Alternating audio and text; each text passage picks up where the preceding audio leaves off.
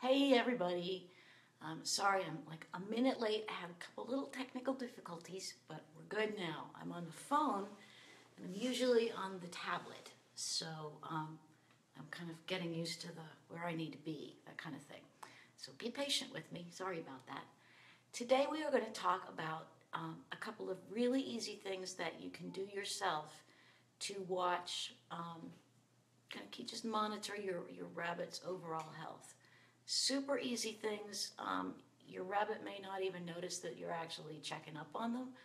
Um, but if you kind of keep an eye on these things, you should you should uh, notice things kind of before they really start to, to happen or to get bad. And you've got plenty of time then to get to the vet and get the help that you need.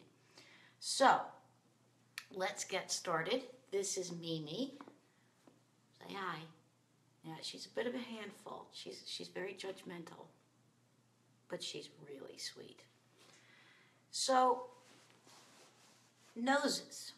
Noses should always be nice and dry. And when a rabbit starts to get um, a, a, snotty nose, even if it's just clear liquid, then you, you might have um, the beginnings of a respiratory infection, for instance. Um, and a lot of times, um, rabbits will exhibit symptoms like the runny noses or runny eyes when they're actually having dental problems. So it's always a good thing to notice if the noses get a little bit snotty. But let's let's just come up here and show you this nice. Oh, oh, don't fuss. Look at that nice dry nose. That's a beautiful dry nose. Yeah, all wiggly and stuff. All right, the next thing you want to pay attention to, sorry, it's a small screen, I keep having to move around. Um, the next thing you want to pay attention to is their eyes. So you want to see that the fur around the eyes is nice and dry and fluffy, and that the eyes themselves are, are very shiny and bright, and the surface of the cornea, the eyeball, um, is is um, doesn't have any disruptions in it, so it's it's very smooth, right? So here's a nice dry. Oh, I know you don't want to show off.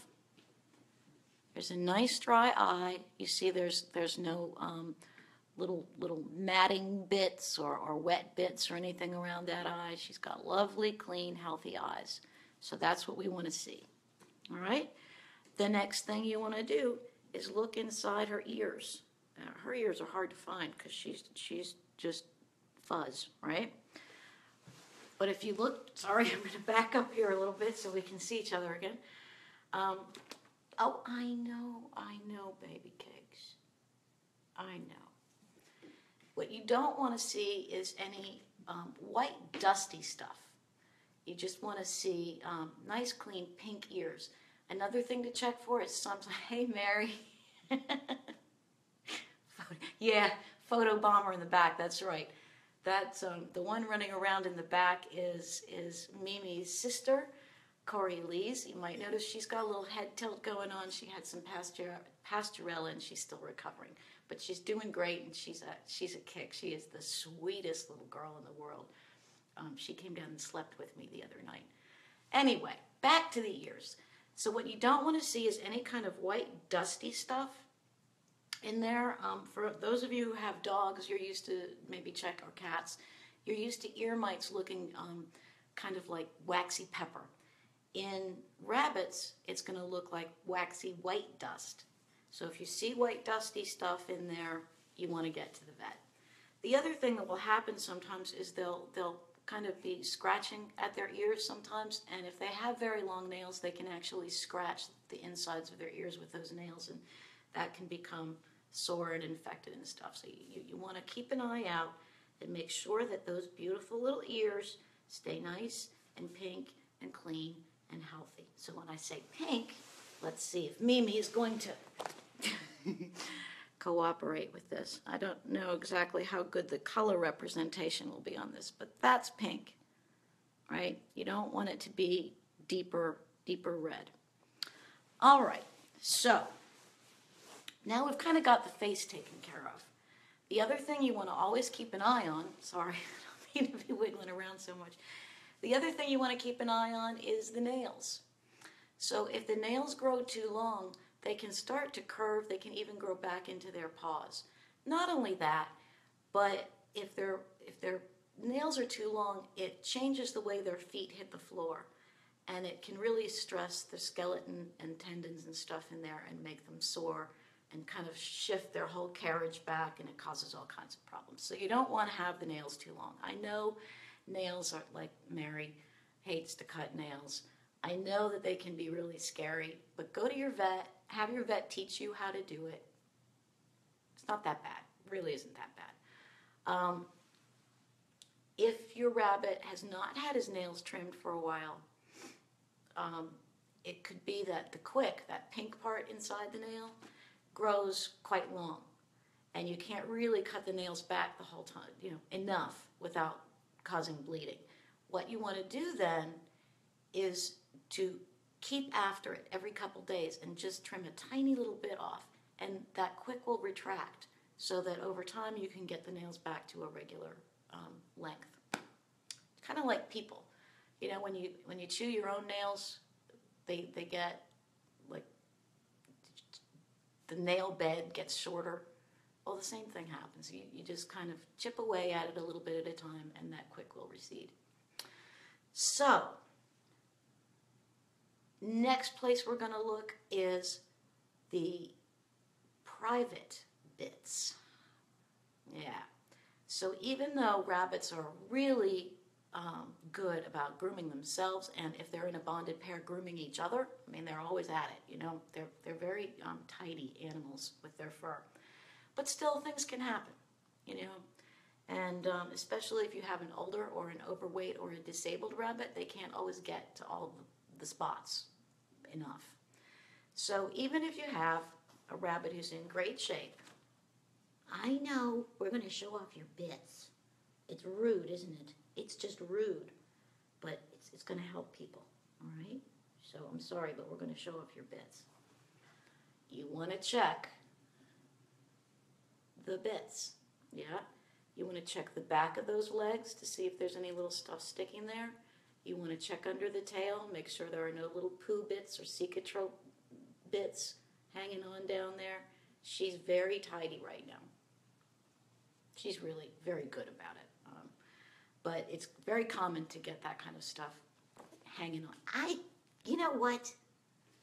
You're not very good at being a star, are you? you see the mad ears we've got going on here? Yeah. Mad ears. Okay, so the last thing, let's see, let me see. I've got all these notes over here. Nails, way. Oh, paw pads. Yeah. Especially in the winter when we've got our heat on and that heat is really dry it can it can help to dry their paw pads out even more than usual. Paw pads should be nice and pink and soft. If they start to get cracked, you don't want me touching your feet. I know. I'm I'm just I'm I'm obnoxious today, aren't I? Those paw pads that start to get cracked and dry can get very painful. Um, they can start to chew on them, the paw pads can then get infected and it, it, it just gets out of control, right? So you want to check the paw pads and you want to check this area back here. I told you a little bit ago that this area was very clean on her. For some rabbits that don't have such thick coats, um, they can get sore hock back here too. So you want to check their paw pads and this part of their legs to make sure there's no um, skin that is um, at the surface without any paw uh, fur protection. And you want to make sure that um, there's no cracking or sores there. Yeah. Um, and if you do see them, get some help. Um, read up on it, get to the vet, whatever, because um, it hurts. It's really painful. It's kind of like dogs that have to walk on cracked paw pads in salt. It stings, it hurts um, and you run the chance of them chewing on it and making it even worse. Okay, so paw pads. And then the last thing we're going to talk about is their weight. Rabbits can get fat. They really can, especially if they eat. Especially if they eat a lot of pellets and not so much hay. Um, pellets have just a higher calorie content, they're more, more dense. And so um, I, the, the other thing that can contribute to it is rabbits that don't get enough exercise. So if your rabbit's a little bit heavy, you know, play some play some games at home and give your rabbit a lot of chance to run around the house, go up and down the steps. Rabbits are athletes. They're built to be very athletic and they need that exercise to keep their weight straight and also just to keep their digestion in good shape. Um, exercise helps their digestion too, keeps everything moving properly. So, just like for humans or dogs or everybody else, exercise is important. Now, how do you know if your rabbit is overweight or not? Well, there are a couple of different things you can you can check very quickly. You can just feel along the spine, right? And you should be able to feel the spine, but with a little bit of padding, not a bunch. I mean, it shouldn't be gushy, but there should be a little padding there. You should also be able to feel the hips. Yeah, there's a nice little rump back here, and you should be able to feel those hips. Again, with a little bit of padding, not a lot, but you know, it shouldn't feel um, sharp. Yep. Uh, some rabbits have dewlaps under their chins. That is not necessarily a sign that your rabbit is overweight. Some rabbits just have them. Um, so we've got more information on um, on a blog about how to check weight, and I can put that um, link up here after I'm done.